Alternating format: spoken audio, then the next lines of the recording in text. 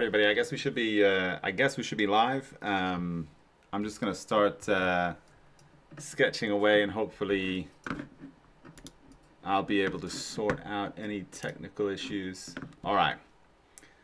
So, by the way, this uh, stream is going on on YouTube primarily, but I have like a secondary stream going on Instagram where probably the quality is not going to be as amazing. Um, but uh, for those of you that are watching on Instagram, you can always like. Um, come watch the rest of it on uh, on YouTube. Uh, for those of you on YouTube, I'm gonna, I'm gonna try my best to like kind of see the comments that you put in, but uh, maybe I don't get them. So uh, definitely no offense to you if I uh, if I don't wind up getting to your question. And if you hear a mouse click or two, um, that's just uh, part of the production.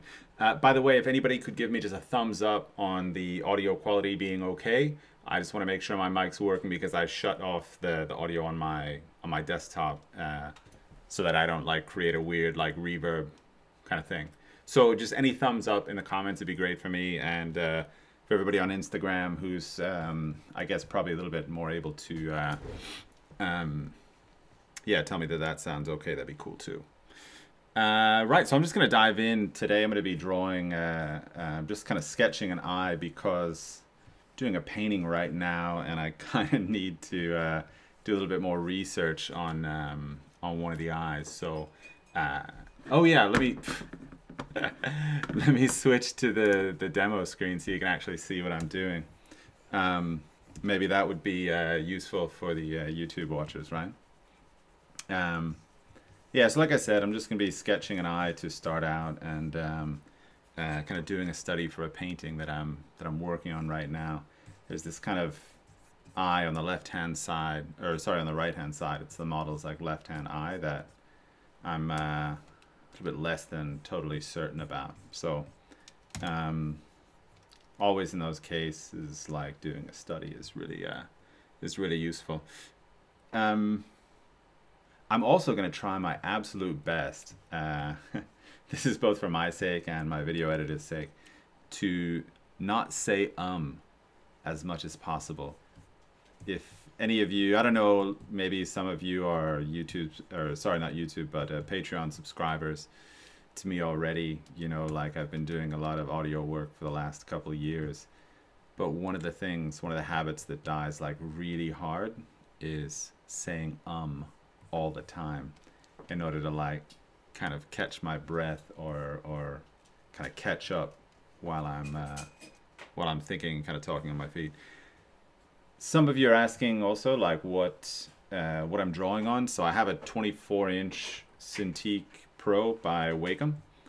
And so I'm drawing on that uh, and I'm using Photoshop.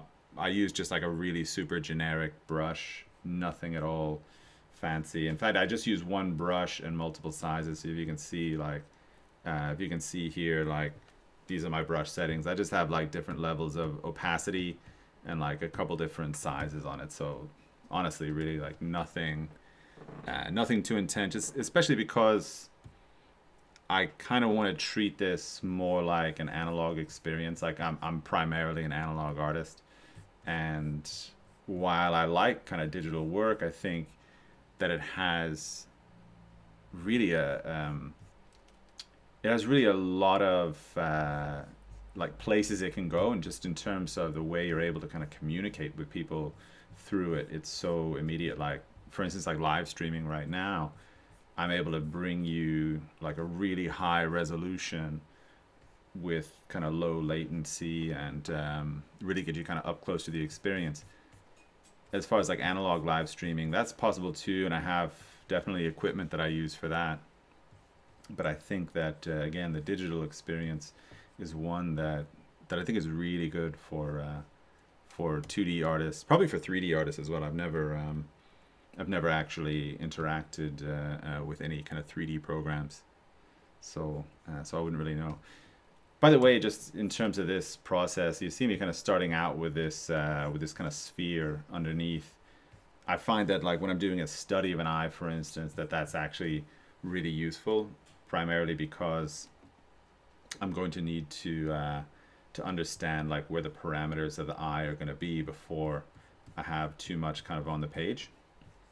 So that just kind of helps me to understand like where the where the kind of split is going to be because in a sense like we look at the eye right as a as a sphere like this the eyelids are really just like an opening on top of that on top of that sphere right so they kind of go around it like this and uh, um, kind of show us just a little bit of the eye. And uh, the rest of that kind of sphere is like the iceberg kind of below the surface. So that's why I kind of start out with that um, with that sphere. Let's see I need to like uh, I think dial in just a little bit of value to kind of start out because a lot of this eye is on the kind of shadow side of the face. And I want to I want to use, I want to indicate some of that here because it's such a big part of kind of what the theme or the kind of story of this eye is. And this is something I would recommend whether you're working kind of digitally or analog, is that you start to introduce like a value theme kind of straight away. You don't want to wait too long, I think, you know, in between, you know, doing a, um, doing like an analog, uh, or sorry, not analog, but uh, doing like a, a linear study uh, for too long. If you know eventually that your your painting or your drawing or whatever is going to be a full kind of value expression. So uh, for me, I'm just trying to stay conscious of efficiency and making sure that I don't, you know, wind up kind of slowing myself down, so to speak, like when I don't have to. Uh, you know, it already takes long enough to to actually draw things. So, if there's anything I can do to kind of speed up that process within reason, I'm gonna do that.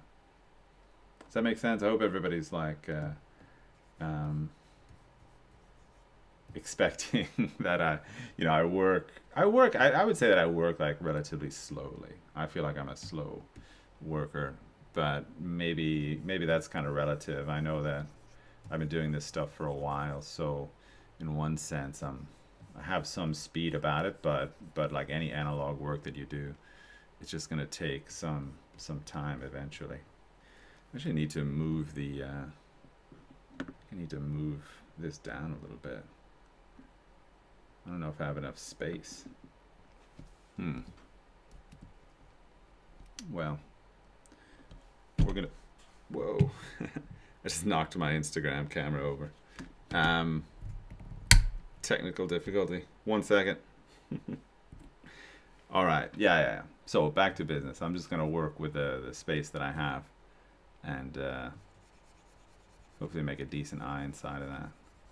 Yeah, for those of you watching on Instagram, like I, am unfortunately I can't really see your uh, your comments at the moment, so you'll have to forgive me that I can't. Uh, I can't really communicate anything there. I also need to get like a little bit of a lighter value. By the way, also like, I don't think I've ever done a live stream on on YouTube, at least not like a public one. So this is this is like the beginning of uh, of doing that. So I hope that this is like the normal version of, of what happens during YouTube live streams. Um, uh, but you guys can tell me in the comments as well, like if you have stuff that you want to talk about or something or whatever's interesting to you.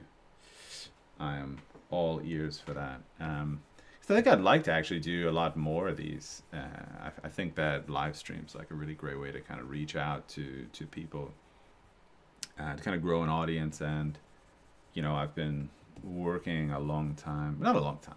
I've been working a little while on YouTube to kind of just grow an audience there and and kind of share videos. So if you're kind of into the stuff that I do there there should be enough stuff there on YouTube that you can kind of get a sense of, of where I'm coming from. And hopefully uh, hopefully that's kind of enough to, to introduce kind of where I'm at. I don't know if everybody watching this is already kind of familiar with what I do in general so maybe some of it's not too uh, not too surprising. Um, by the way, also if you are watching this either on uh, on Instagram or on uh, on YouTube, um, please remember to subscribe to my channel. It really uh, um, really helps me, and just in terms of kind of growing an audience there, gives me the opportunity to like do more stuff. and uh, to kind of share more content. So if you are into this stuff and into like learning about this stuff in general, then uh, please feel free to subscribe, and uh, and I'll be there.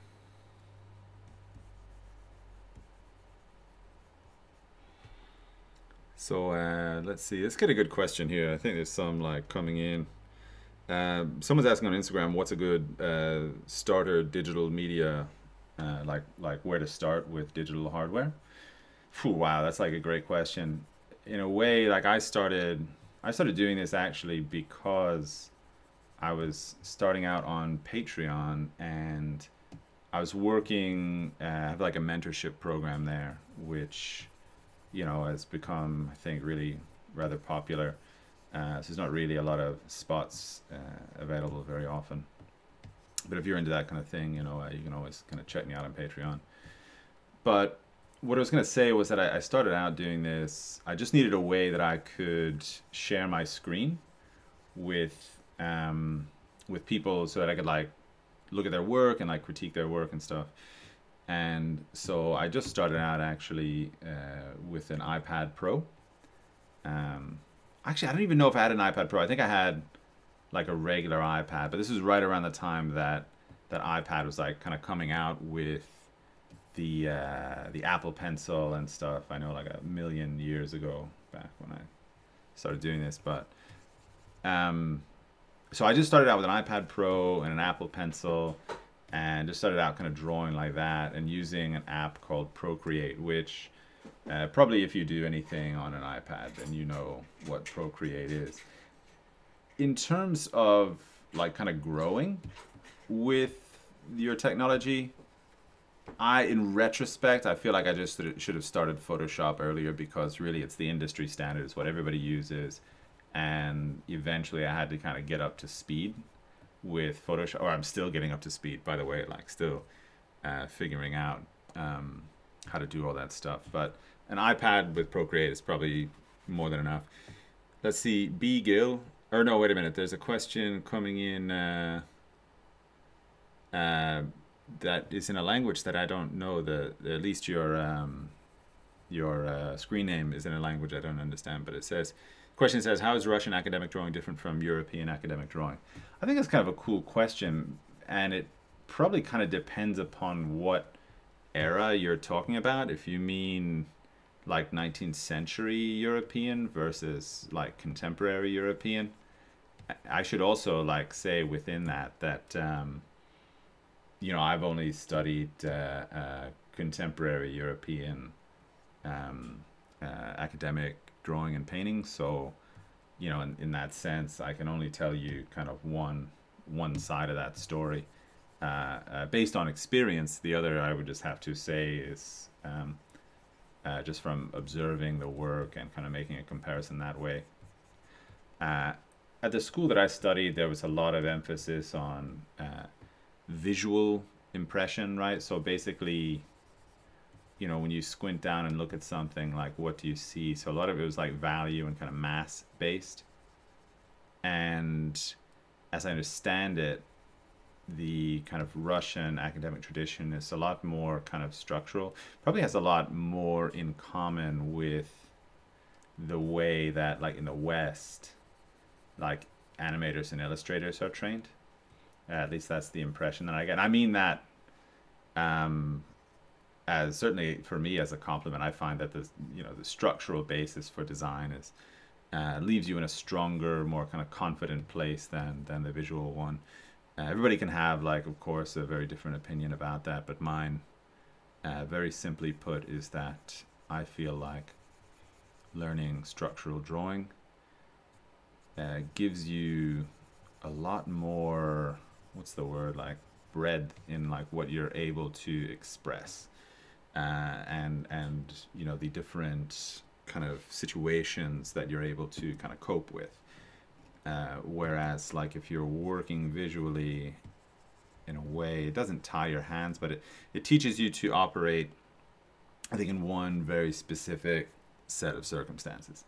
And if you're not in that set of circumstances, like if you're, you know, you find yourself outdoors or you're in a different kind of studio or something, I think that you're a little bit less inclined to be able to adapt very well to that situation. So that's just my take on it. I think that one is going to be a lot more structural in the way that it prepares you to uh, to kind of see and, and design things that you see, and another is going to be a lot more visual. And I I would prefer the uh, I would prefer the structural to the visual if I had to choose between the two.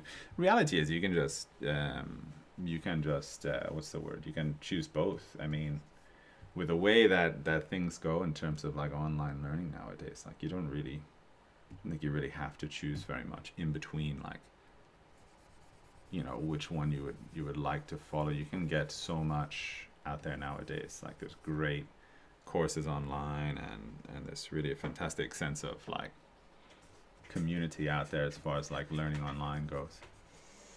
Yeah, so I took a long time to answer that one. Uh, Joe is asking, what do you think you've retained in your art from Egon Schiele?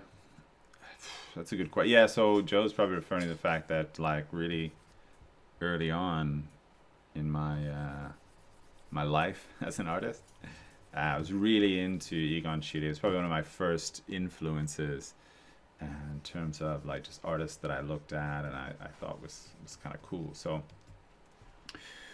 what I've retained from that, uh, well, it's a fair question. I mean, it's hard to say though. I wonder. I I think you asked me that question maybe even five or six years ago. Uh, I think the que- the answer would be like really really different. Uh, nowadays, I'm not actually sure that I really do retain a whole lot from my appreciation of Egon Schiele. I don't mean that in like a sad way. I just mean that like, I, you know, it's just not really on my my radar right now. I think that I definitely have an appreciation for the use of line in uh, in my work, and uh, certainly I feel like in, in his work that has a really strong theme as well.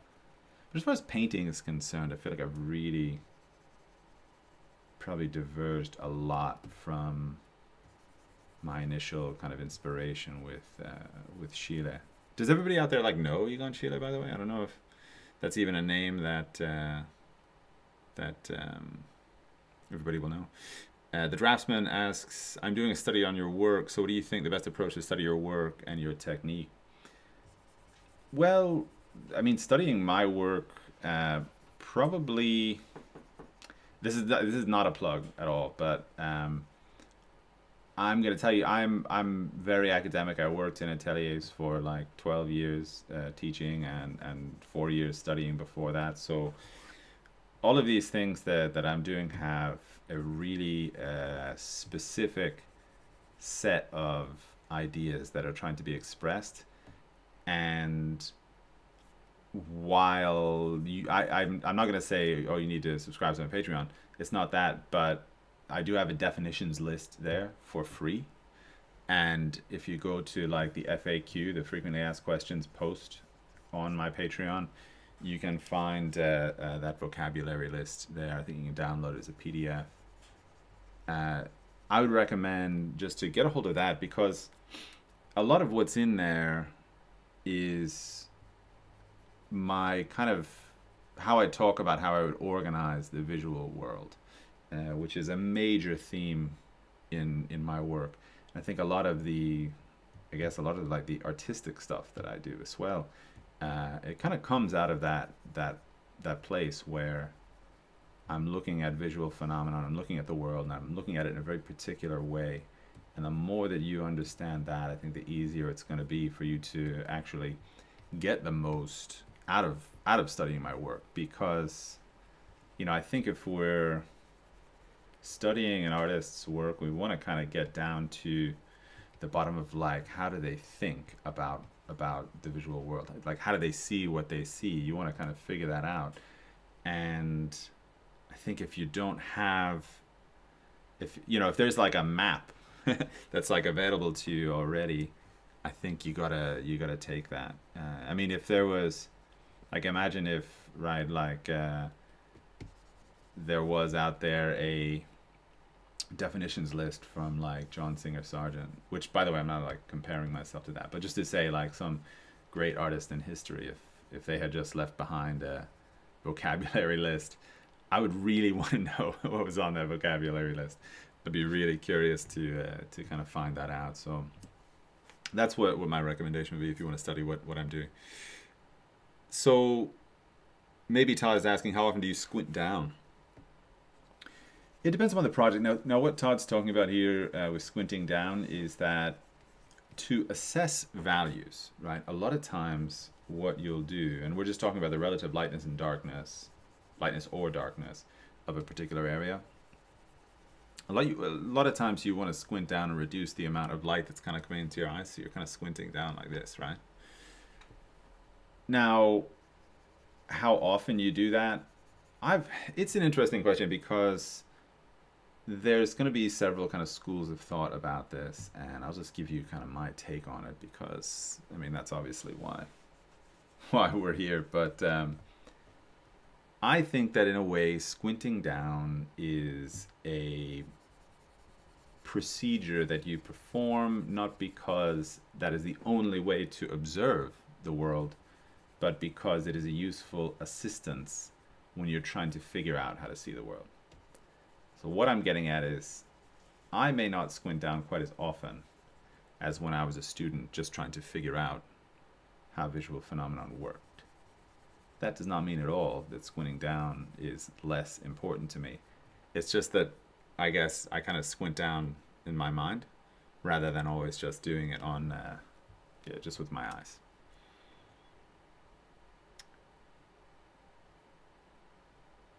Let's see, some uh, more questions. Uh, I'm trying to find one that maybe is um,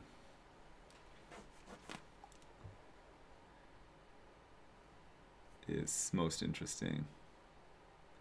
Uh, someone was asking if um, I have like a lot of model packs on my Patreon, and they were asking just if if it's okay that they post on social media with work that they made from those model packs. Yeah, it's totally fine the model packs are there just for you guys. I don't, you know, uh, whatever work I'm making, you know, I, I, you know, I use those same model packs and, but that's, you know, that's part of, uh, I think, you know, studying with me. It's just that, of course, that you get those as well. Uh, so no worries about that at all. Uh, Cleum is asking, would you say that starting drawings is better you say that starting drawings, it's better to that the structure is good before the next steps. So it'd be better to prioritize the improvement of the structure before thinking about finalizing. Well, definitely, you know, if we're talking about like stages in a drawing, yeah, you want to make sure your structure is sound before you you think about finishing a drawing. But it's it's almost like you know these things I think in a perfect world, they're they're actually kind of going hand in hand. Like, I think getting the structure right is a part of finalizing or finishing. You know, I have this kind of progressive idea about drawing that you don't, um, what's the word? You don't like get the the drawing right and then finish it. It's more that that finishing the drawing is a part of like kind of getting it right. So uh, I guess what I'm trying to say here is that uh, you know yes and no. The the yes part being absolutely structure is super important. You have to prioritize it. If you're not prioritizing it, it's not going to get done, and your drawing is going to suffer because of that.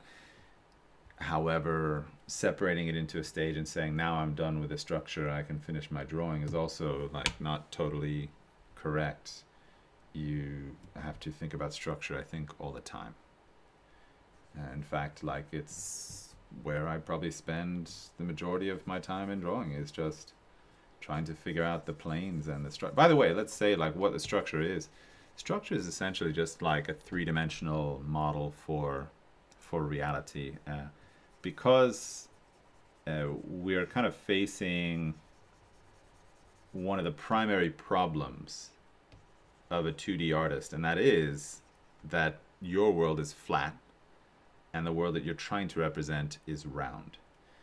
And you are that puts you immediately in a way at a disadvantage and so you need to like work towards fixing that, right? So we start off in this flat world and we want to represent a three-dimensional world. and so that means that there's a whole lot of choices that we have to take like along the way to that. Um, structure is one of the primary ways that we kind of understand around the world, right? So uh, if we, for instance, let's take like an example here. This is one I use with my students all the time, is that you can have a shape like this that is totally flat, right? This is a totally 2D shape. Uh, it's just as if I had drawn like a shape like this. Totally flat, no form whatsoever.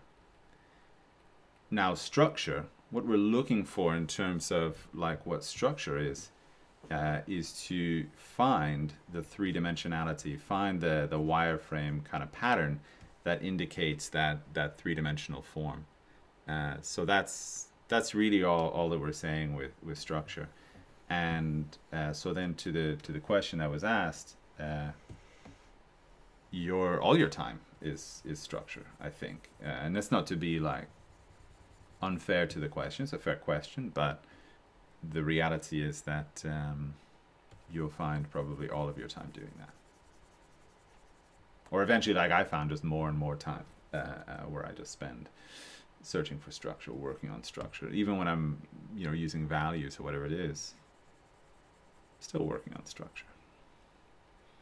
Speaking of which, I need to like really work on the structure in this eye. It looks woof, tough. Need to get that, uh, that classic sense of form going, right?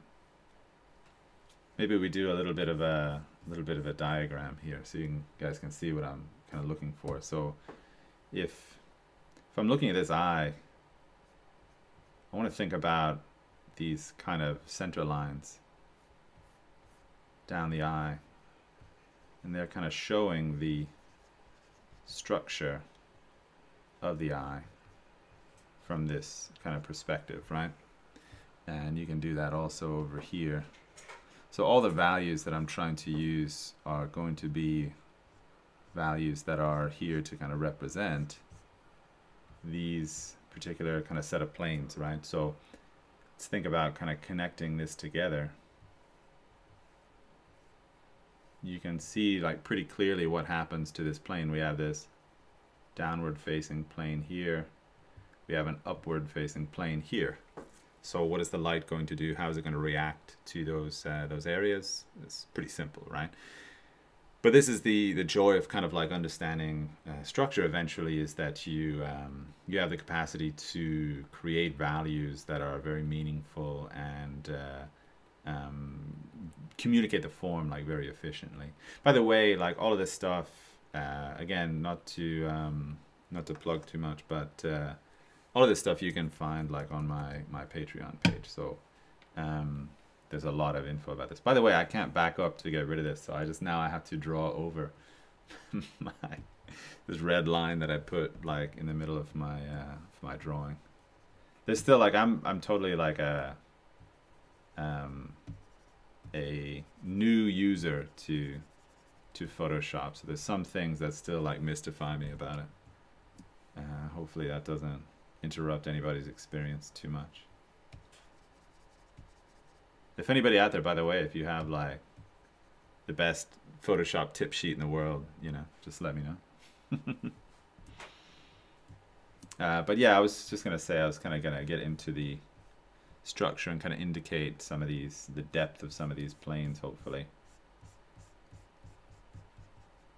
And uh, hopefully we get to a decent looking eye. For me, this is, uh, I feel like it's a little bit, a little bit rough. Uh, it's probably because I'm kind of talking while I'm doing it. I'm not not usually as efficient, you know, when I'm talking and, and working at the same time, but that's okay. By the way, I know there's been like a ton of questions popping in. Uh, so I know I'm like not getting to all of them, so sorry about that. But oh, someone says that I can increase the amount of undos in the settings. Super awesome tip. Thanks for that. Uh, Paige Emerson's asking for tips for toning paper with graphite charcoal smoothly before drawing. there is, you know, this is going to sound like I'm a little bit on repeat, but I've, I've been doing Patreon for a couple of years now. So a lot of the questions that I'm getting, like I've already made tutorials, like full lessons about all of that stuff. The I have one on on uh, materials, so on all the papers that I use, all the pencils that I use, stuff like that. It's totally exhaustive. It's like a two-hour video and everything that I have to say about paper is represented there, uh, including toning it and stuff like that. So uh, you can absolutely go to my Patreon page and find the uh, materials videos there. Um, uh, which, by the way, you can use, you can do wet or dry toning. Kind of depends upon what effect you want and, and kind of how you want to work. I I tend to prefer kind of I think dry toning just because it gives me a little bit more kind of flexibility, but there's something to be said for, for wet toning, even if you're using uh, just graphite or charcoal powder to do it as well. Uh, some really interesting effects that you can get when you kind of uh, tone it wet as well. So just to say that um, all that stuff is out there. Let's see. it's a funny question um, what is the best phase of the drawing that you enjoy the most? And then someone's asking, how did you decide to go with the form or against the form when hatching? And then another question about, am I drawing on paper or computer or what? Uh, I'm definitely drawing on a computer, uh, so that takes care of that one. The uh, other questions with hatching, you know, there's some very specific answers that you can that you can have to that, though they're kind of hard to describe because they're they're not universal. Like I, when I give an advice that's like, how do you hatch? I like to be able to say, well, this is how in every situation you can hatch. But you'll see that I'll go with the form or against the form, you know, in you know at different times, and so there's a little bit of the sense of it's kind of a hard advice to give about like how do you hatch because there's a lot of different things that kind of go into that. Like sometimes I'm hatching really just to kind of search out the form to like find a crease or a kind of movement in the form. And it's not really value based. But then some sometimes I'm hatching for the sake of value, like over here, where I would be like hatching to show how this plane is kind of dipping down and another one is like kind of wrapping around the edge there like that right? So there's a lot of different kind of ways you can hatch. You can even uh, at times, you know, you can you can hatch like along with the form like this as well. So there's a lot of different answers. It's not really like a how do you hatch uh, lesson that that I give necessarily. So. Uh, I mean, that's you know, there's some guidelines there. Though. Hopefully, that's uh, that that's helpful. Let's see, but I gotta get I gotta get this on the way, man. Like I'm way behind where I should be. Like I said, talking and drawing, you know, it's not easy.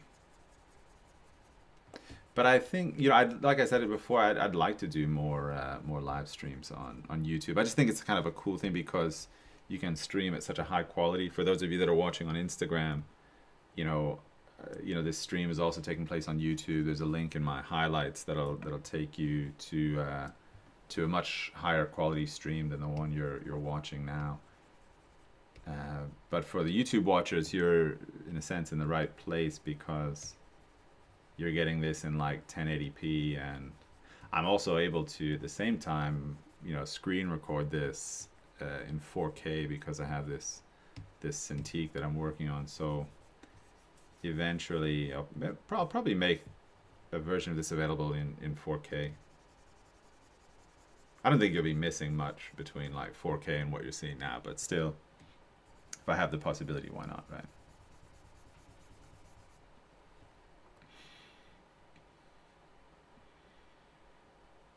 So Naeem is asking, different regions have different styles of drawing and teaching methods. Does it affect your, does it, does it influence your drawing style? Can you adopt other regions of styles? even if you didn't learn it academically? Ooh, it's kind of a cool question because it's kind of getting at the at the kind of style question, but in a in a kind of more subtle way than I usually hear it. So, uh, cool question. now, I've spent some of my life, kind of, I guess you would say, uh, kind of self-taught, and then a lot of my life, uh, you know, I spent at the academy in Florence, and so uh, I've been kind of on both sides of that, where you're kind of on the outside looking in, trying to figure out like what what are these people doing that like makes their work so good. Uh, I don't know what it is because I haven't gone to school, so so I can't like say confidently that I know. Um, but how do you like how do you deal with that? Um, so it's kind of a cool question. I think that there's two things. When you don't have an option, you just take what you can do. Um, before I went and studied in Italy, and, and I'm from America, of course, so uh, before I went and studied in Italy, all I could do really was just to look around at at the work that I saw being produced, and this is in the kind of early 2000s, the late 90s, where I was kind of starting to get into this stuff.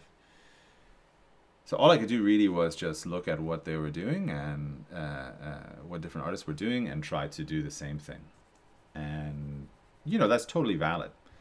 That being said, I feel like in retrospect, I, I, I worked so hard uh, to get information that, or to, to figure things out that are really like baseline standard stuff at, at a proper academy uh, or at least at the, the school that I went to. So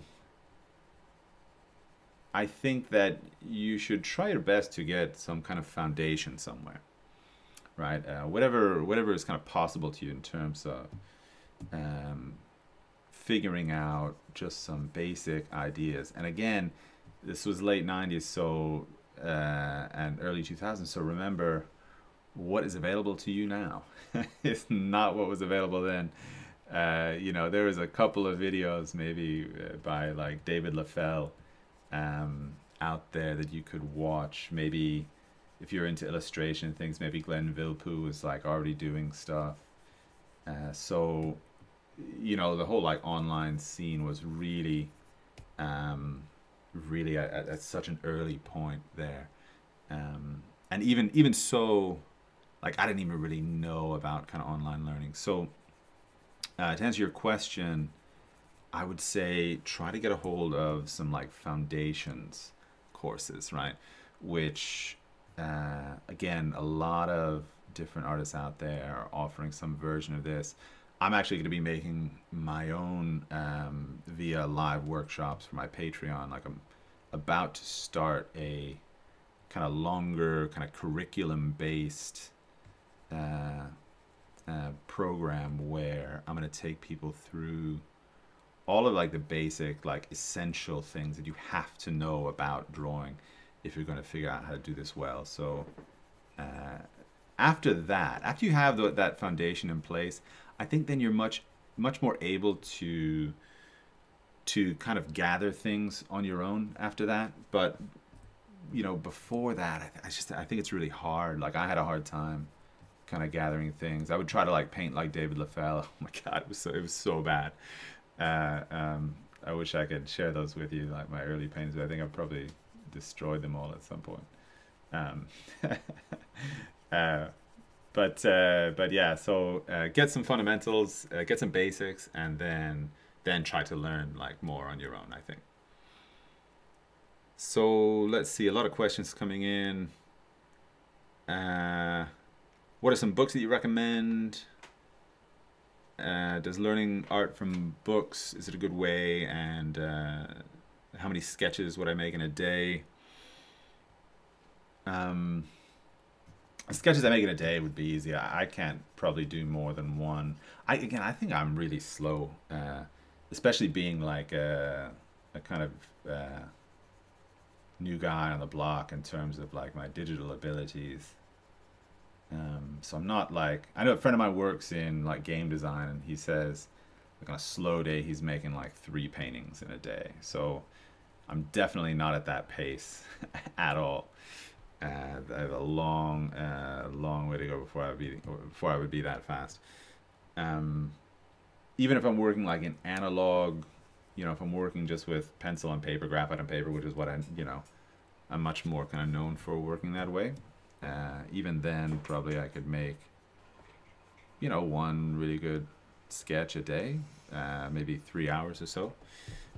Um, then, in terms of like books that I would recommend, but it's interesting, right? Because a lot of great books are out there because it was like the primary medium for learning at a certain point. Now, of course, like video has totally surpassed that, and I think that probably learning from books, in one sense, this sounds horrible. This is, or you guys can come at me for this if you want to, but learning from books is like a little bit outdated in terms of drawing. That being said, now, now I brought up these older books at first because I wanted to mention a lot of like really great artists when they were teaching books were the primary mode and so there's some great great great great information uh, kind of locked up in books so i wouldn't abandon them but also you know you just understand like you've got a lot of options out there you know you're not it's not like you you don't you need to go to the book route uh, to kind of get get the information. A lot of great video stuff out there. Um, but in relationship to the books that I think are interesting, anything by Harold Speed uh, is going to be fantastic. Uh, he actually manages to make all this academic stuff sound or or or read in a really compelling way. um, there's a book by Vanderpoel, for instance, that I I love Vanderpoel and I love his work and I think he's an amazing artist and like all these things. I could not read the Vanderpoel book because I just found it too it's it's very bland. It comes from this moment where like in the 19th century and this is my understanding of it where there was this big ethic of uh, like scientific discovery and scientific understanding of things and so, because of that, his text is like really meticulously written, almost like he's trying to describe in a laboratory environment what drawing uh, sounds like. That that's just my take. This is you know I mean everybody's gonna have like a different take on on on Vanderpoel. Uh, I want to reiterate, I think it's amazing, but I couldn't get through the book uh, as I found the writing of it like pretty dry. Harold Speed I found really uh, really kind of um, dynamic, easy to read. So so I it's always my kind of go-to when people ask me. Let's see. Wow, a lot of questions coming in. I'm not gonna be able to get them all. Um, someone says I've been doing art for three years. I learned almost entirely from YouTube creators, and I'm looking for looking at visuals, trying to understand it. Um, yeah, just basically talking about the book idea that I was talking about. Yeah. Someone's also saying Scott Robertson's book on perspective is really good. I might have to check that out. I've been kind of, uh, you know, figuring out. I didn't, you know, at a school that I went to, I didn't have like really. There wasn't a perspective course, which I know like sounds. That sounds kind of crazy. I bet that you can go to like an art school as long as I did, and like perspective was not a thing. But it was not a thing, or at least not like formally addressed. Like you know, maybe we talk about it a little bit, but uh, again, it was not totally a part of our education. You know, we were much more concerned actually with, uh, in a way, actually just rendering things, you know, figuring out how the human form works. So a lot of anatomy, a lot of uh, a lot of cast drawing. So things a little bit more like that were or what I was primarily educated to do. And you know, you got to remember as well. There's a lot of, and I, I'm probably, I'm sure some of you have done some atelier training. Uh, so this is like kind of speaking to you out there as well. You know, I thought that if I just like kind of learned to draw, and this is like the younger me, if I just learned to draw, then like the other stuff was kind of, I feel like I felt like it was kind of wrapped up in that. Like if I learned to draw, then, you know, perspective would make sense to me.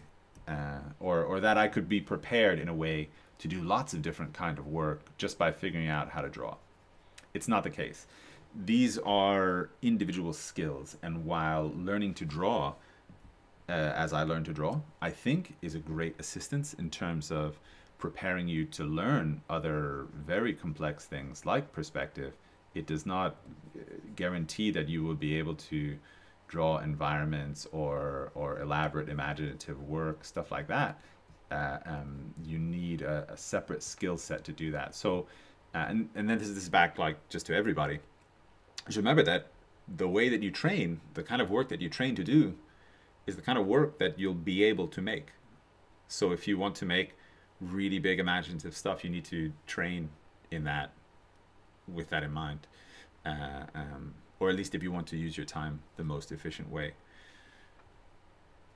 But also, you know, and this this goes to uh, something I would say to students as well. I think always always look at your teacher's work. Uh, and this is kind of, it can be a bit of a divisive opinion because there are some teachers out there that are like great teachers and they're not the best artists so it's not that I'm saying like you need to study with a person whose art is the the coolest or the best, the most popular. But I think that you need to look at the ideas represented in their work. If you want to make like highly refined drawings and paintings, you don't want to study with a teacher whose work is always about sketches. It just wouldn't make sense, right? I mean, so, but I, I'm saying there's probably a lot of you out there you know, especially nowadays, probably a lot of you are like way smarter than I was when I was a student. Uh, I think I was like just this young kid who like skateboarding and, you know, punk rock music. And I was, anyway, whatever. I was who I was when I was a kid. So I didn't really kind of grasp um, some of these things when I was kind of going to study, which is probably why I, I kind of recommend people to try to understand them a little bit better before they go into it. Yeah, but Let's see, some more questions here. Uh, yeah, so someone's saying they also started out like kind of doing graffiti uh, when they were younger, and that's how they kind of got into the uh, got into the art world. Um, and what to kind of work on in terms of draftsman skills or painting skills first. I'll tell you what, you gotta learn to draw. Like there's really no other way about it. And uh, I remember I was talking to somebody. You know, I've, like I said, I've been teaching in ateliers for like, uh, let's see, since like 2000 and uh, 2008. So for for quite a while. I remember a guy was asking me. He had studied with me for uh, uh, at the academy for a little while, and he was um, he then left and went back to India for a while, and uh, he was trying to figure out like what school he wanted to go to after. He needed to kind of take a pause, and he was kind of going to go back to be to finish his education, but not to Florence. And he was, you know, wrote me an email asking like, what, you know, basically like, what should I get into? Like, how do I, you know, how do I negotiate this? Like, what do I need to be an artist and stuff? And these kinds of questions. And I remember I said at the time, and I, I really kind of stick by this, not a lot of people really learn to draw. You know, there are people that learn uh, about drawing and they can learn, you know, some ideas. Uh, you know, they can figure out how to kind of get a picture onto the paper. But I'm talking about like really learning to draw. Very few people uh, get down to the the absolute uh, deepest kind of level there, and it's it's always my opinion that what you gain in kind of really figuring out how to draw ultimately is a tremendous amount of versatility. Uh, you can you can it sounds funny.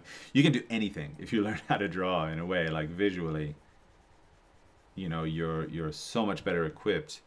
That being said and this is this is the other side of the coin right? If you're going into like the kind of commercial market uh, and you know time is a factor for you then you know painting takes a long time to figure out. And so if you spend a lot of time early on figuring out how paint works just as a material, as a substance, then you'll be prepared probably a little bit sooner to to make artwork that is like viable for the market. I don't know how many out of you out there are like professional or that you're showing your work other places and, and things like that. But there's this is oh this is gonna sound really snobby. I, I don't mean it to sound snobby, but there's work that's really kind of commercially viable that isn't so like we wouldn't look at it and think, wow, that's really like accomplished work. Uh, and that's okay. Like not everybody has to be to some ridiculous standard of design or whatever it is. Uh, and I already know that sounds like already snobby. I'm like cringing at myself saying it, but um, you know, if if that's the objective is to get to the market as fast as possible, then spending your time with paint is really useful because, you know, paint is what generally galleries want. Uh, the galleries, in my experience, that want to work with people making drawings are a lot fewer and further in between than those that want to work with oil painters. I hope that helps and doesn't sound too cynical. Uh, someone's asking, what's the road to really learn how to draw? How do we know uh, we're at the right path? Well, the, the, the road to really learning how to draw is just long, first of all. you just have to be, first, you have to, to be very patient and you have to have the time to be patient. Not everybody, like I said, uh, not everybody's career is going to give them the, the time to, to do that. How do you know you're on the right path? Again, that, that does come down to a little bit of kind of knowing yourself uh, because you do need to like look at look at the work of who you're studying with. And like I said, I know that's like a difficult thing as well because for a student, a lot of times you kind of and this is this is like really I wish someone had given me this advice. You don't know what you don't know. And so things that sometimes seem like a little bit crazy like you know a teacher will tell you really you've got to understand this thing and you're going i just don't see it and they're telling you no you're making this mistake and you're going no but listen i don't see it. How can that be true? You are you are locked into the extent of what you you understand already. Withdrawing and painting your knowledge as your knowledge gets deeper you're going to be able to see more and more. So a lot of times as a teacher you're kind of telling people things like listen you gotta you gotta see this thing. You gotta understand you know you really need to kind of work in this area um, if you're going to kind of grow. And so as a student, you do have to have a certain amount of like faith in in your teacher for for that fact. So uh, that's why I say you know look at your teacher's work. You know if if it's a place that you want to get to, then then listening to them is really worth worthwhile. You know if you look at your work and you say they do this thing really really well, I want to do that thing really well then just be patient and listen to what they have to say because they're trying to get you to uh, uh, to that place. But there's a lot of destinations. So some people tell me that I must draw old art for my portfolio. I want to go to art college and taking the fine art courses. Is that true? Well, you know, that's that's one of those. I don't know if I can really answer that question just because it's kind of um, what art college are you going to? You know, uh, you know what, you know what is your objective? Because you go? There's so many like variables inside of that. Unfortunately, like probably, I don't know if I could like really shed light on, uh, or give you like an insight that would apply, for sure. You know, I mean, uh, also like the the whole thing of of like going to a school. I think it's interesting. Like I went to an art school before I went, I studied in Italy. So, like, I went to like this American art school, and you know, there's the whole like portfolio game there. Like, you need to have this portfolio, and you you do this thing and whatever, and not to you know denigrate that process at all because you know it depends upon what your goal is. I never really used anything about my portfolio after I applied that was kind of it. And I don't really know if I knew enough at the time to to necessarily have like even made a that, that good of a portfolio. Um, but suffice to say, like the making of a portfolio is for the school you want to go to. It's not for your necessarily for your personal growth. I mean, it can help you grow for sure, and and learning that maybe there's some hoops that you have to jump through in life is, by the way, that's that's all right to learn that as well. Uh, you know, I mean, I think for artists, and this is kind of an interesting question too. I think for artists, I was talking to my wife about this. She's she's a painter as well. We kind of start out with this vague idea that we're gonna like we're gonna paint, and then that's what we're gonna spend our life doing. And in a way, like of course we were kind of right about that. We do paint and we teach, and that's like what we spend our lives doing. But there's so much more to that more to like making a living than than just that, than just like painting. And for students, sometimes I think you're in a really tough spot that you kind of don't have enough information to really like know what the career is all about uh, and and how you're going to kind of survive out there. Uh, also because there's kind of this conception that like artists and money shouldn't mix that and it's actually kind of a um, I think it's an idea I was listening to this lecture by Odd Nerdrum the other day, and uh, he was talking about Immanuel Kant, uh, as he always does. And uh, he was talking about like this idea that that Kant had, and, and that, that Kant produced that great art was also uh, reflect would reflect great politics or would be very moral in a sense, uh, or according to anyway Kant's morals. And so it kind of gives you this idea that artists are in some ways like they are uh, they are like activists but i think that probably the reality for certainly a lot of like artists that i know and, and artists that i work with is, is that you're really you're a small business owner like you you need to keep the lights on. You need to make work and produce work and have a, a way to sell that work. And, uh, you know, that's what your job kind of is.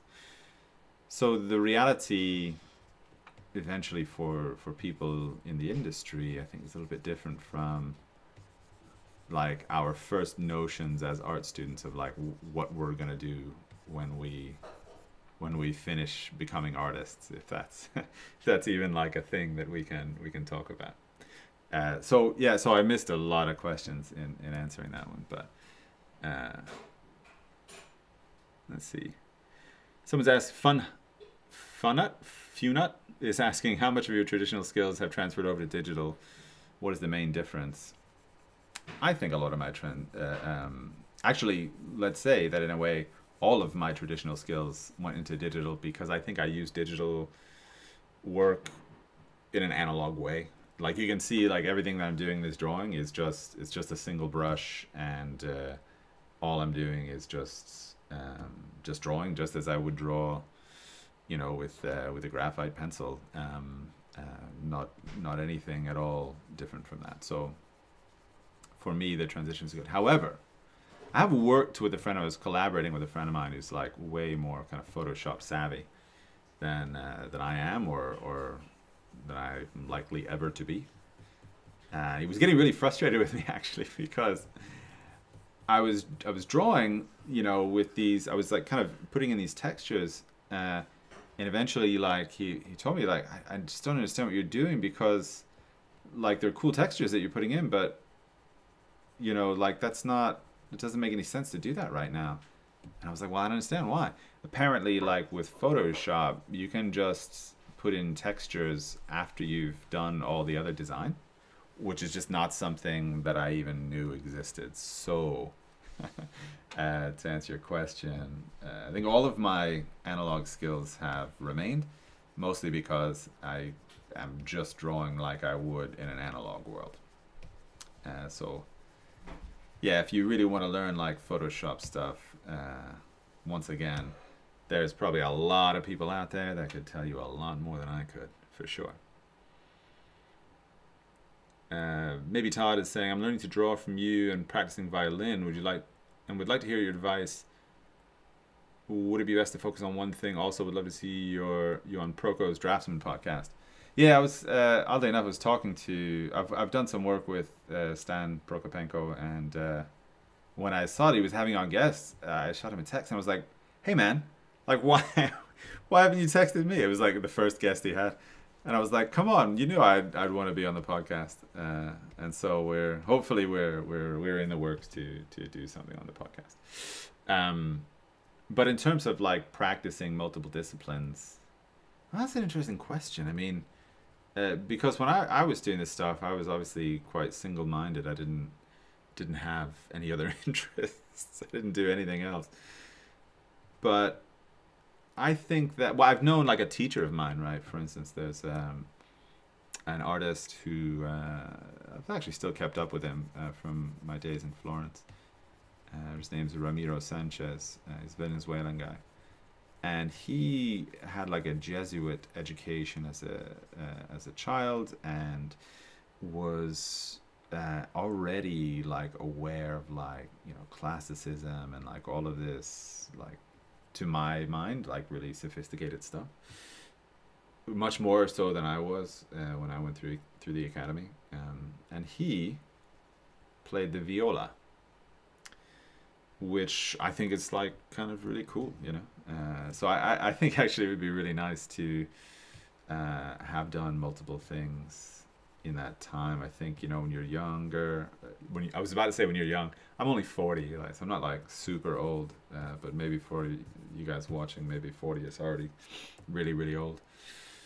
But you know, I think that when you when you pick something up when you're a little bit younger, I think you just have um, you have kind of more time and energy uh, for picking those things up, and so I think use it. You know, go for it. Uh, I don't think you will regret also learning to play the the violin while you're while you're studying. Uh, however, you could regret not doing it. So I say uh, take the risk, and um, I would say learn it also. Yeah. Let's see. Have you dealt with some prolonged periods of inactivity before, and the subsequent feeling missing some skill or having to build up again? How do you deal with that? If so, yeah, you know, it's it's interesting, right? So when I was at school, we would work in uh, what's called trimesters. So there would be like three uh, terms per year, and after each term, you would have, you know, uh, if it was Christmas, you'd have a couple weeks off. If it was uh, if it was summer, you'd have like uh, a few months off, uh, actually. So you know, you'd have time off. I mean, I always was, I was a bit like obsessive, um, which honestly, probably to get really good at this stuff, I think you have to be a little bit, I think you have to be a little bit obsessive. Um, that's kind of a blanket statement, but I'm pretty sure I would stand by that, that you have to be a little bit obsessive to eventually get really, really good at this stuff. But what I was going to say was that after we come back from those breaks, there would always be like a lot of conversation uh, in the model room about, you know, shaking the rust off or, you know, some version of that that uh, like oh we need to warm back up and I you know maybe I'm just a little bit like skeptical about it. Maybe it was just me, you know, being like a, a kind of high achieving personality type where like I just I put a lot of pressure on myself to to be able to do stuff. I always like thought well it's just kind of a myth, right? That we that we get rusty, um, because to me like drawing is so much about about the concepts, and if you know the concepts, your brain shouldn't get rusty. I mean, maybe your hand gets a little bit rusty, but your brain should be uh, you shouldn't have uh, that problem. That being said, I'm sure that you can get a little bit rusty. Um, I just maybe, maybe in an unhealthy way. I like I just wouldn't acknowledge it. You know, I just I just try to work through it. Yeah.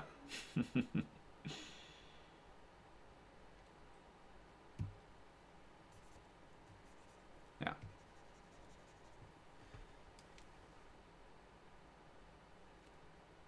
All right.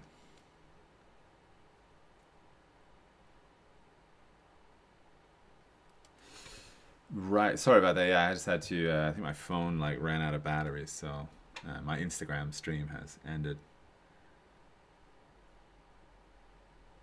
All right, so how long have we been doing this? I don't even know how long we've uh, been here. 64 minutes, just an hour. I've got some more time if uh, if you guys do. What do you think? Do we keep going? Or do we wrap it up? I don't know like what your capacity is to like sit around and watch this stuff. How long do live streams normally go? That's my that's my question for uh, for all of you out there who have um, much more experience uh, watching YouTube than I do. All right, so we have one that says keep going. So that's one vote for for keeping going. Um, let's see what the rest is. Definitely keep going. Someone's saying they usually go 24 hours on the short side. I feel like I feel like I'm being taken advantage of there. I feel like that's not that's probably not true. No, but I'll keep going. Also, my wife is working in the same studio. I gotta see if like if this is bothering her to the extent that she can't work. So uh, we'll see if uh, see if that's okay.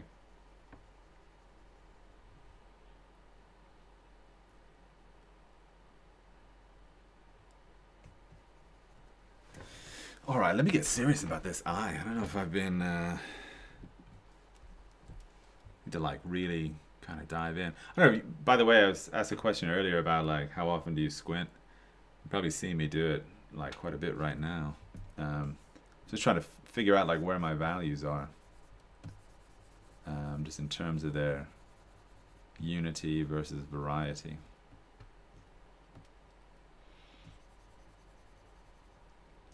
Also, you know, I, I find that one of the things that I really like uh, actually about working digitally, and there's there's a lot that I find kind of enjoyable, even though, you know, if you ask me, I think you know, like I feel, you know, like a novice in a way, like digitally, I, I don't feel particularly accomplished.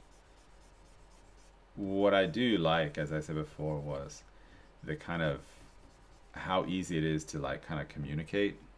Um, you know you can like you know this live stream is so much more accessible i think when you work digitally uh, um, than than like an analog stream. At least i find that uh, i'm sure other people have done a really good job uh, with analog streams as well. Probably i don't know probably i'll do that uh, eventually as well uh, but it's just not yet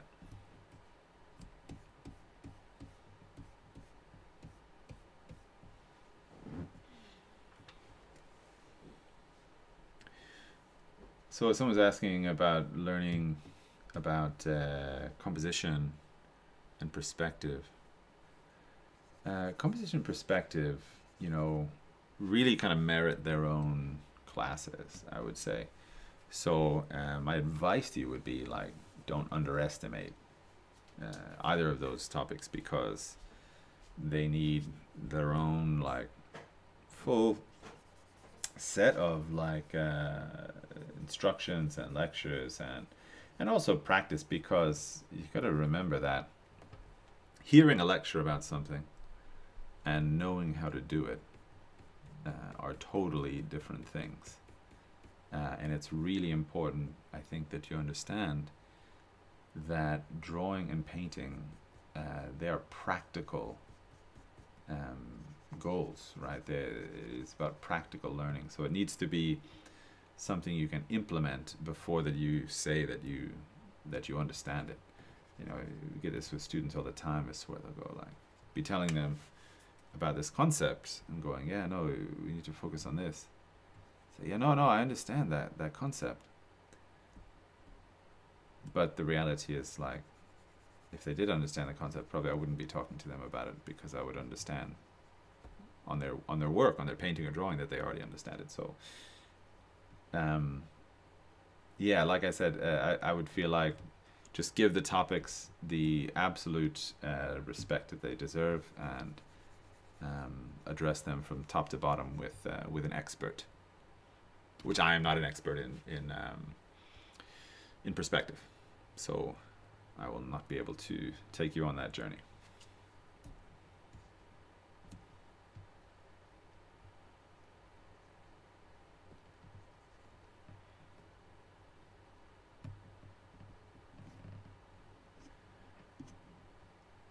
Yeah, someone's asking, uh, how do you decide whether to call a painting done? That's done is um, complicated because you also have to take into account your effective ability to continue pursuing a project. Like for me, I eventually have like a, a shut off point where my enthusiasm for a project closes and if I continue working, I'm going to be doing like kind of half work. Like it's not going to be great work that I'm doing. It's just like I'm just there kind of kind of working, not maybe being totally focused. So I try to take into account, you know, how much I feel like I'm actually able to do, uh, how, how much I'm able to, how effective I'm able to be uh, given my enthusiasm for a project. That being said, you know, it's not maybe a great uh, habit to get into to just go, oh, well, my enthusiasm's gone. I can't work on this anymore. Uh, because eventually you need to like grow that that muscle. You need to exercise that uh, that that discipline of of working not only when you're inspired, but working when you're not inspired as well. Uh, so I usually try to make it a bit more of like a procedural thing. So like with a painting, for instance, like an oil painting, I will uh, I will generally work for like three layers. Uh, so three passes on the painting. And if I feel like after that, like I still haven't gotten the thing that I'm trying to get, I really have to start wondering, you know, am I really going to get it? Uh, or is more time is it just going to be more time? You know, like uh, you can spend a lot of time with a painting and, and, and not have anything good happening to it. So uh, for me, I just try to figure out. Uh, I just try to figure out if I still have the it in me to kind of keep going. Someone's asking if, um, as a graffiti question, asking if I'm too adult uh, to go out tagging anymore. Uh, the answer is absolutely. I am far too adult to go out tagging anymore. Um, also, that you know, I'm a a permanent resident uh, in in Norway, and I think if I was arrested here doing anything, I, I, think probably they would not allow me to stay in the country. So, I think tagging is probably out of the question. It's been out of the question for probably a lot of years now already, but I still have a deep affection for it. Baby Todd is asking what is your advice on studying your Patreon videos, and how would you go about it yourself if you hadn't gone to Florence? It was all you were studying. I think with Patreon, this is this is something that is a little bit, uh, in my opinion, probably underutilized by my Patreon subscribers. Uh, but I am there for you guys and girls. If you got questions, you know, I'm in the comments like every day, uh, answering whatever questions are there. So obviously you need to kind of know a little bit your level. So I make um, some some beginning videos or beginners videos, uh, and then I make some more advanced videos. Uh, so kind of knowing which one of those you want to be studying is important. Uh, but then after that, like ask for clarification, ask ask questions about it, and um, and and kind of get responses from me because once again, like I'm there, you know, every day um, available to uh, uh, to answer whatever questions you got. Um, otherwise, uh, the other thing, and I'm hoping that that everybody also already understands this. Uh, my Patreon page has uh, an extra navigation site, so I, I hired a company to um, to kind of custom uh, or customize a website for me where I can um, make it a lot easier for people to find the tutorials that they're looking for. Like Patreon's basic navigation is was kind of basic, um, and and so not really uh, that that great, not that user friendly. Um, so in that on that website, there's also a filtering system where you can uh, choose to see just the uh, you can choose to see just the basic or sorry the beginners the foundation videos. Uh, so I would start out with those and uh, make sure that you use my time because that's once again that is exactly what I'm there for. Um, there to kind of uh, help everybody get the most out of that page. Yeah. Someone's asking if I've ever given Silverpoint a try. I have not personally, though I did buy my wife a Silverpoint drawing kit once upon a time. Uh, so it's like gessoed paper and you get like a little two millimeter silver pin that you can put into a two, two millimeter lead holder. Though I'm not sure if she ever used it. um, someone's asking, uh, did art affect your social life? That's a good question. Uh, did art affect my social? Well, I met my wife, you know, through studying. So, I guess to that to that extent, you know, it affected that part of my social life. um, my married life is is because of uh, studying. She she's looking over at me now that I'm talking about it. They're asking if uh, um, artwork uh, affected my social life, and I said, well, I I met my wife when I was studying, so I guess in, uh, to that extent, it has definitely affected my social life. Which my social life now consists of like going on long walks on foggy mornings. Because of, uh, of course, COVID, we don't see anybody.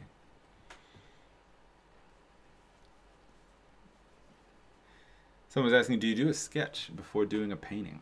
This is a very kind of cool question.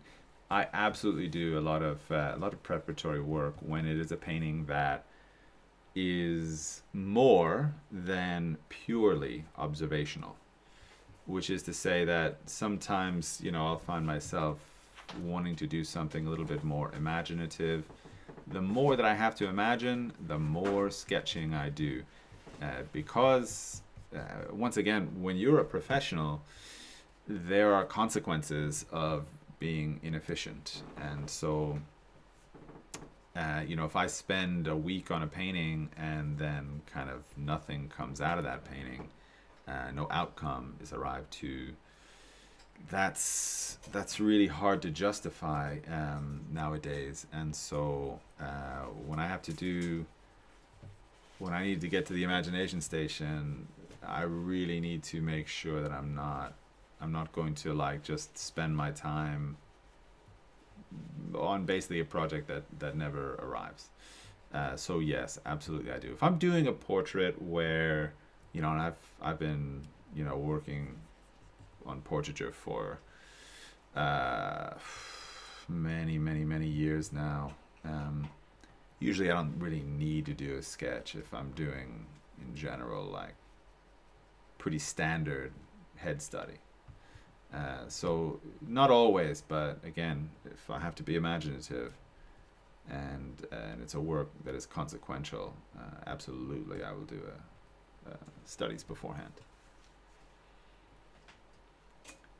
Someone's asking, uh, how do you get such 3D and clean portraits? Well, it's clean portraits. Well, you know, first of all, I mean, this is not going to be too edifying of an answer, but obviously it's just practice. You know, uh, so much of you know confidence in artwork and style in artwork is just being kind of comfortable in your own skin, and and for me, a lot of that is you know that I've just been there before.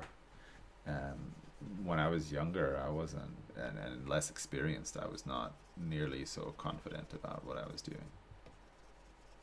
And so, of course, that was um, a more difficult time to be to be creative for me. Um, but as time goes on, you get a little bit more confident, and so. and I'm speaking now, by the way, to you're asking uh, about you know kind of clean portraits. Uh, there's a great saying by uh, an artist called uh, Joshua Reynolds, and he said that it was it was like giving advice to students. He said essentially, I suggested you block in your your drawing or your painting or whichever it was in such a way that you don't have to change it afterwards. And like on the surface, I used to laugh about this. On the surface, that sounds like like the most kind of jerky advice you can get. Like, cause yeah, of course, like, aren't we all just trying to block in our portrait in such a way that we don't have to change it afterwards? Like, I don't find myself blocking something in, going, I hope I have to change this afterwards. Um, but really, what he's saying is that if you're doing things in the right way, you should be able to progress through a project without making kind of dramatic changes. You should be able to progress rather smoothly through a portrait. Uh, obviously, making little uh, embellishments as you go, but not necessarily making what you would think of as uh, corrections or correcting mistakes. And so that was the point that he was trying to make, at least to to my mind.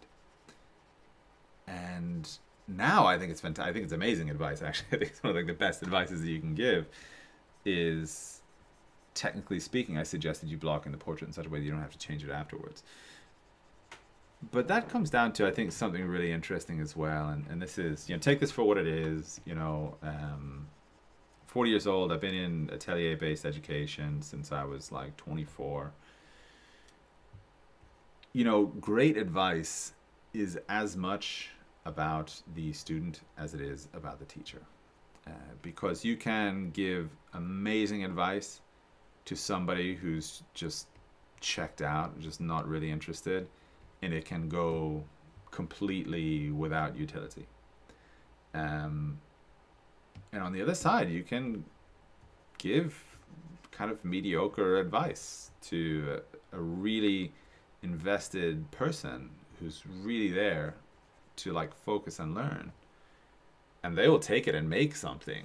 They will discover some like depth in it, right? So I think if you're studying, or you're aspiring, you want to be somebody who's looking for the value in the advice that they're getting.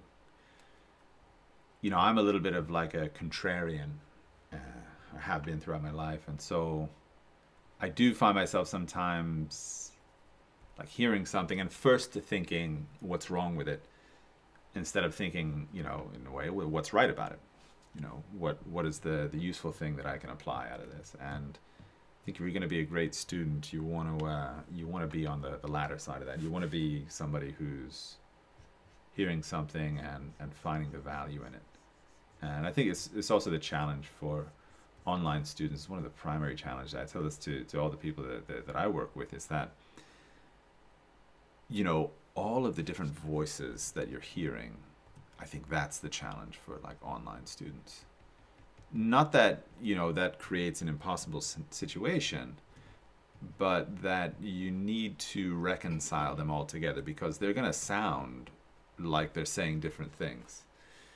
And you even experienced this at, at, at the atelier where I studied as well. Like you had several different teachers, and one would say something, you'd think that sounds like the opposite of what the last one said. But it turns out when you start to kind of look more deeply into it, actually you, you find uh, you find actually how they're they're kind of saying the same thing. You find the middle ground, but you have to be listening. You know, you have to be kind of paying attention. You have to be searching for for what that kind of truth in the advice is. And if you're not, probably you miss it.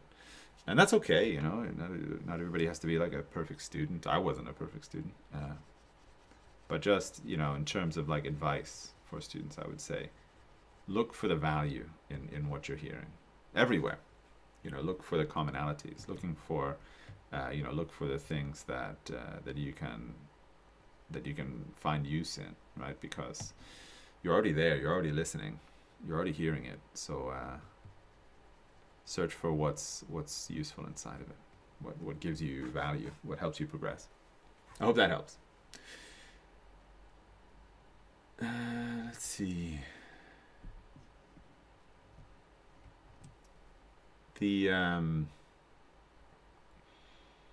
someone's asking how do you maintain proportions when your drawing is bigger than your reference? I think that uh, well, it's I want to give a more useful answer than you know just that you pay attention to them, but.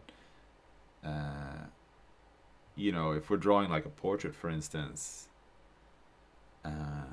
there's a lot about like head structure that that I do in terms of like, you know, using construction methods to ensure that I have like the right value, or sorry, not the right value, but the right proportion.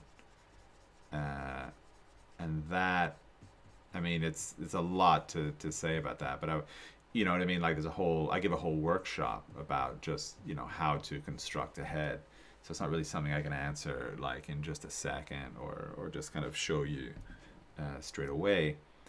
Um, and if you are interested in, in all of that information, it's, um, there's actually like, I, I put about 20 minutes out of it, uh, uh, out of a, a two and a half, three hour workshop out on YouTube. So it, it is out there for free. Like you can totally, check it out and just uh, see if you like it or not. Uh, but I use uh, constructive methods to ensure that I um, have a solid sense of proportions throughout my uh, work, regardless of the size of the reference that, uh, that I have. So that would be my, yeah, my advice to you would be, yeah, that.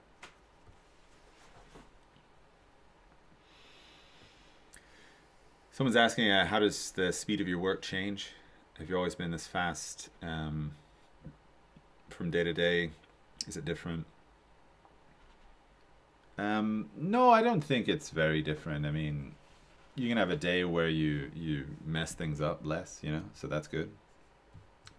Uh, but usually my speed is is pretty it's pretty uniform. It's not doesn't go like up and down a whole lot. I just kind of draw the way that uh, that I draw. I guess it kind of depends upon the what my end point is. If I'm intent upon doing like a more finished drawing, uh, certainly that's going to take uh, a longer time. But otherwise, it's it's relatively even. Yeah.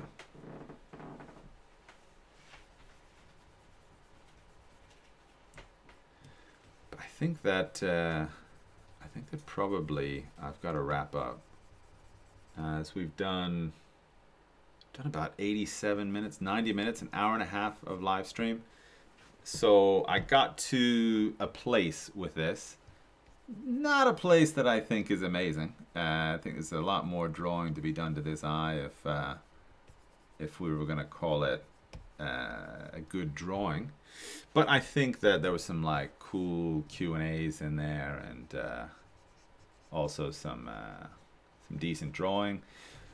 By the way, like if you're watching this right now, um, definitely remember to subscribe to my channel so you get notifications when I'm doing live streams and stuff. And if you want to share that on social media, please feel free to do so. Uh, anything that helps the numbers go up is a positive thing for me. And if you're interested in doing this stuff like really in depth and you want like 100 hours of content about how I draw and paint, my Patreon page is uh, filled, filled, filled, filled with uh, uh, complete long form tutorials. So thank you so much everybody for, for checking this out and uh, I'll see you in the next one.